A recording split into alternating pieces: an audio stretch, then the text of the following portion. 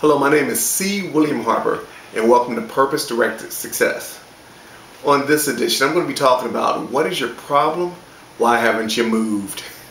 and I don't mean move out of a house or something crazy like that, but why haven't you moved up in your business? Why haven't you gotten another pin level or another promotion or taking your business to a new level? Why, why, why? I'll tell you possibly why. Or why when you make more money. Once again, I'll tell you why. More times than not, when we hit adversity in our business, we can do one of four things. Thing number one is to do absolutely nothing. Absolutely nothing. I know I'm not going to give you all four, but I'll give you a few of them.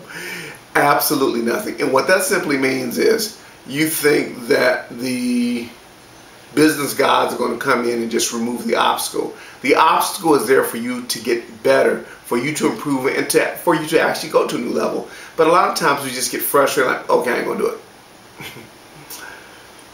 Another thing that you could do, or what normally happens is, you can kind of man up and read up. You can study, you can buy a program, you can get a book, you can you can try to fix it for yourself. You can show that can-do attitude, pull yourself up by your bootstraps and all that.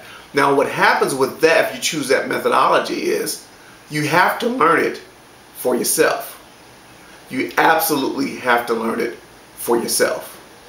And in learning that from yourself, you can take a lot of valuable time away in doing that.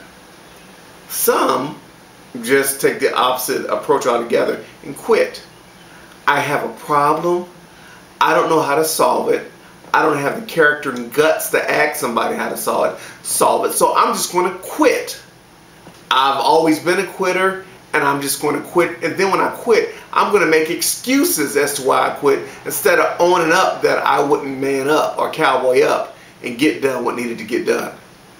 The fourth one, I'm going to have you read the blog to find out what the fourth one is. But guys, your success depends solely, completely, and thoroughly on you. Please don't blame anybody. Don't blame your situation. Don't blame your tools. Don't blame your business partner. Don't blame your team. Don't blame your upline. Don't blame your downline. Don't blame anybody. Just own it. And when you own it, you can find out what is the best option for you. In any case, I pray that this has been a benefit to some of you out there. And if you know somebody out there that will benefit from it, share it with them. In any case, you take care, be blessed, and may God love you real good. And you too can have purpose-directed success. Goodbye.